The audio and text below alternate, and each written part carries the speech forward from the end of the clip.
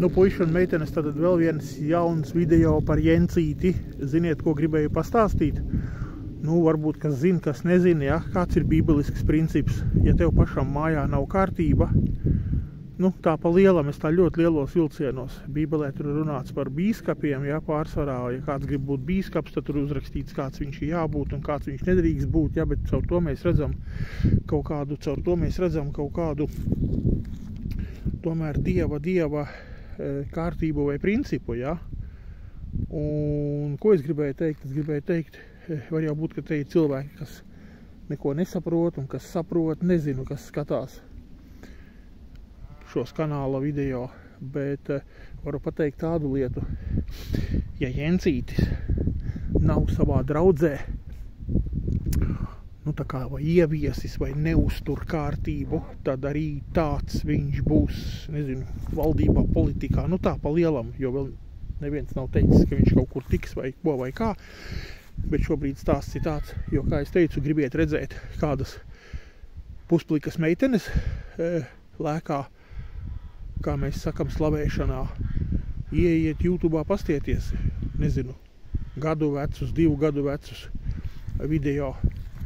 Tad jūs redzēsiet, jo, jo, jo, jo, jo, jo tas viss nav pēc rakstiem. Rakstos ir skaidri gaiši pateikts, kādām ir jābūt sievietēm, kā jābūt ģērbtām, kā viņām ir jāuzvedās kādai jābūt draudzēji ir kārtībai, kā tam visam tur jānotiek. Viss Bībelē ir aprakstīts, un tas, kas notiek tur slavēšanā, kā es saku, pupi pa labi, pa kreisi, augšā, lejā, lēkā un, un, un, un pusplikas un, un, un atkailinātas un tādas un kādas, un viss es, es, es toreiz, ka vēl biju tajā laikā, es skatījos, jo es biju porno atkarīgs tajā, nu, pirms gada diviem, Un tad, tas, protams, mani uzreiz tā uzbudināja, ja kad uzreiz bija, kā saka, stojaks gaisā, kā mēs sakam, džeki, ja, tāpēc, tāpēc, tāpēc, nu, un parādiet, parādiet, kur tas ir dievišķi, kur tas ir kārtīgi, un es vēl nemaz nerunāju par tiem džekiem, kas tur bija zālē un pirmajā vai otrajā rindā sēdēja, un, un tikai nesakiet man, ka tev jābūt šausmīgākajam tur, es nezinu, izvirtulim, lai tevi tur eh, šito te, nu, uh, nu, kā tur, kā tur tevi tur uzrunātu un tev tur būtu uh,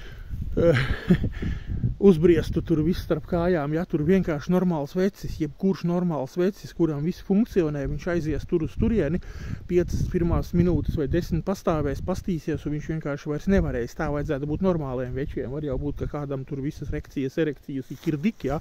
Man savos 53 ir tā, ka es tur varu urbt ozolā, teiksim tā, ja. Bet, bet, bet, bet, bet Bet, nu, es nezinu par citiem džekiem, bet stāsts ir pavisam ne par to. Stāsts ir par to, ka draudzē ir šī visa pretbībeliskā, nepieklājīgā, vulgārā meiteņu visa šī lieta, un zivs pūst no galvas, un tāpēc arī viņš to nav visu sakārtojis un nenotiek pieklājīgi un kārtīgi, kā Bībele saka, un tad šādu cilvēku nedrīkst nekādā politikā nekur neko zēni laist. Tā kā tas tāda maza pamācība.